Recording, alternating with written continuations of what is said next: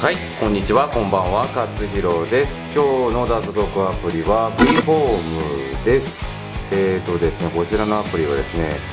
今ここにちっちゃい、えー、マークというかボタンみたいのがあるんですけどこれはですねこれを押してもらうとロックが、えー、できるようになるんですね。で、えー、これを下の方に持ってってもらうと今度は、えー、ホームボタンになるんですよね、えー、ホームボタンと、えー、同じような形になって、えこれを押してもらうとホームボタンの役割ができるようになります。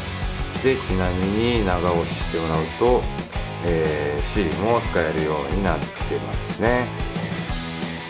で、まあ、これ下の方に持ってってもらうとホームボタンになって上の方に持ってってもらうと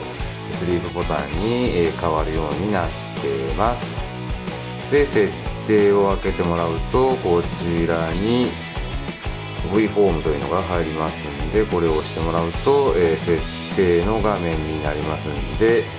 え一番上が機能有効のスイッチで、えその次にこれバーがあるんですけどこれを動かしてもらうとこの、えボタンの色が、ま、透明度がえー、変化できるようになってますね、えー、今日は V フォームの紹介でした。ではまたね